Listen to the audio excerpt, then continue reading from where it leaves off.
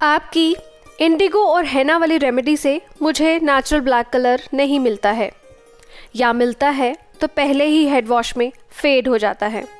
ऐसे बहुत से मैसेजेस मुझे मिले मेरे वीडियोस के नीचे तो मैंने सोचा क्यों ना आपको एक्सट्रीमली रेजिस्टेंट ज़िद्दी बालों पे ये रेमेडी दोबारा से करके दिखाऊँ, और साथ में शेयर करूँ कुछ ऐसे टिप्स जो अगर आप ढंग से फॉलो करोगे तो मेरी गारंटी है आपको रिजल्ट्स मिलेंगे ही मिलेंगे।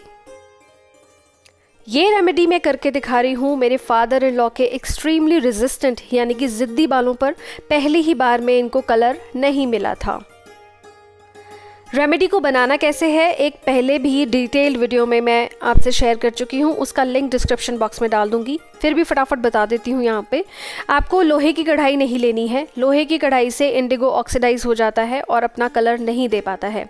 तो यहाँ हम लेंगे ग्लास बोल या बोन चाइना या फिर पोर्सलिन उसमें मैंने डाला है दो चम्मच मेहंदी। और उसे नॉर्मल पानी से घोल लेंगे। बिल्कुल रूम टेम्परेचर पे जो पानी है, उससे घोल लें और उसे 24 घंटे के लिए ऐसे ही ढक कर रख दें। अगले दिन आप देखोगे कि जो मेहंदी है, वो थोड़ी सी ब्राउनिश टोन में आ जाएगी।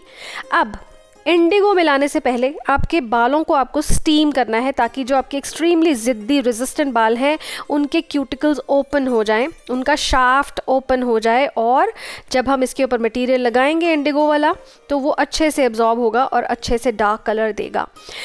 क्लिपिंग जो थी ना स्टीम करने वाली, वो मेरे फ़ोन से डिलीट हो गई है। आई एम सो सॉरी आपको कैसे करनी है स्टीमिंग ये बता देती हूँ।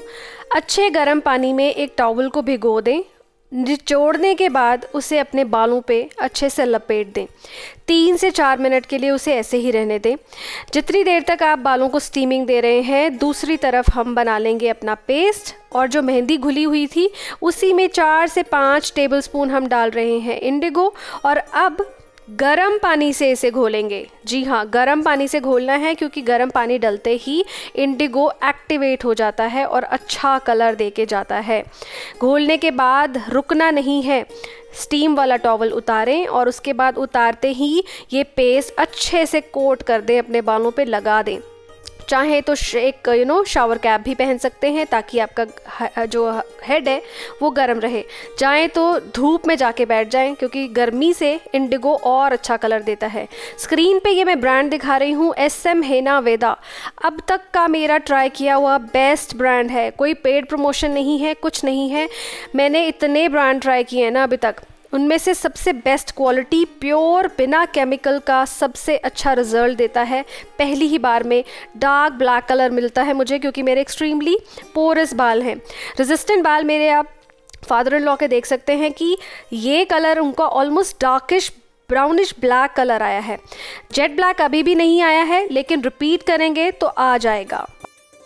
So final before and after आप देख चुके हो मेरे फादर इन लॉ के बाल भी एक्सट्रीमली रेजिस्टेंट थे और पहली बार में उनको भी कलर बहुत अच्छा सा नहीं मिला था। स्टार्टिंग में बस ग्रीनिश ग्रे अजीब सा कलर हो गया था and he was really disappointed and he was like तू तो बड़ा बताती है कि यू you नो know, इतना अच्छा नेचुरल कलर आ जाएगा मेरा तो आया नहीं मेरा तो आया नहीं। आई सेड आप आप ना रिपीट करना इस प्रोसेस को और हमने रिपीट किया है। थर्ड टाइम में जाके उनको डार्किश ब्राउन शेड मिला है। अभी भी मैं कहूँगी कि black proper jet black colour नहीं आया है but I am very sure कि नेक्स्ट टाइम जब वो रिपीट करेंगे ट्वेंटी ट्वेंटी फाइव डेज़ बाद या महीने बाद जब भी वो करना चाहें तो कलर और डार्कर आता जाएगा। सो so, रेजिस्टेंट या पोरस किस टाइप के आपके हेयर है? इसमें आपकी कोई गलती नहीं है। आप उस टाइप के बालों के साथ पैदा हुए हो। आप ऐसा कुछ कर नहीं सकते मेजरली कि आप अपने ज़िद्दी रेजिस्टेंट बालों को पोरस बना पाओ। ऐसा करना ज़्यादा पॉसिबल नहीं है। ज़्यादा से ज़्यादा आप एक चीज़ ट्राई कर सकते हो कि कलर लगाने से पहले ना आप बालों को स्टीम कर लो।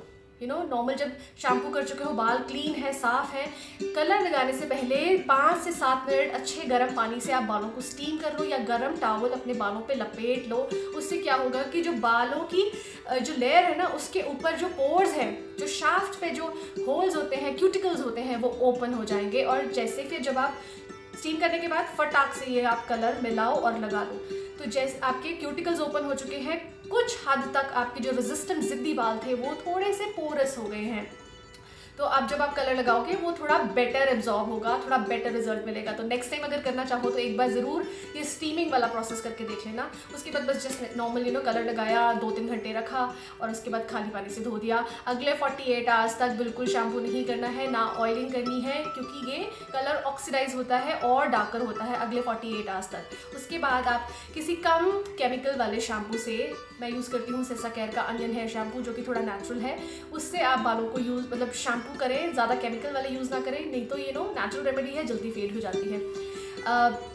बस यही आपसे कहना चाह रही थी, और बाकी मेरे चैनल पे ना डिटेल्ड वीडियो है इंडिगो और हैना के बारे में बहुत ज़्यादा डिटेल में बनाई है, सारे आपके डाउट्स क्लियर किए हुए हैं। उन सभी वीडियोस का लिंक डिस्क्रिप्शन बॉक्स में मेंशन कर रही हूँ। सो फाइनली एक ही बात बोलना चाहती हूँ कि please don't give up on this remedy चाहे रेजिस्टेंट बाल है चाहे पोरस बाल है कभी भी केमिकल्स दोबारा शुरू ना करें नहीं तो जितने बाल अभी है ना हाथों में वो भी निकल जाएँगे।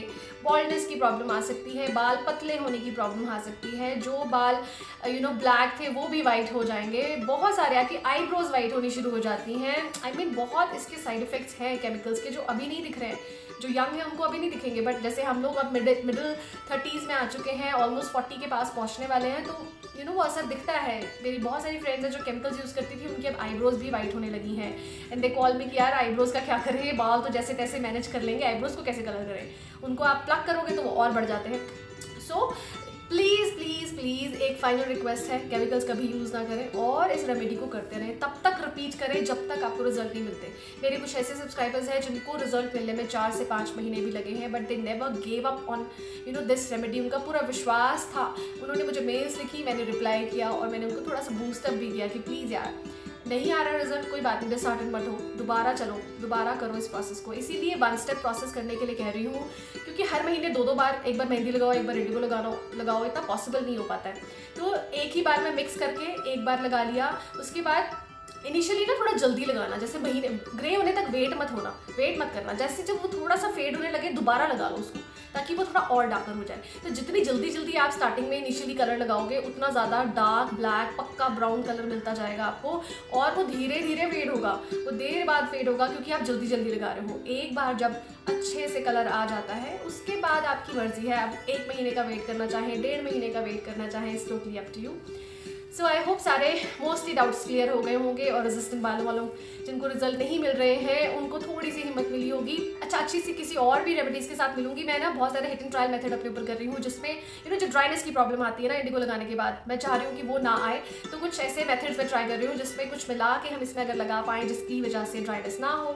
जैसे ही वो कोई अच्छा सा फॉर्मूला मेरे पास आ जाता है ना, मैं आपसे जल्दी से शेयर करूँगी चैनल पे। तो आप चाहें तो मेरा चैनल सब्सक्राइब भी कर सकते हो।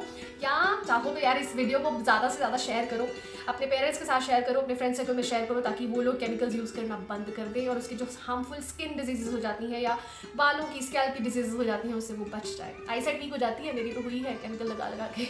चलो, बहुत जल्दी मिलूँगी, अच्छी सी रेमेडी के साथ, तब तक take care for self guys bye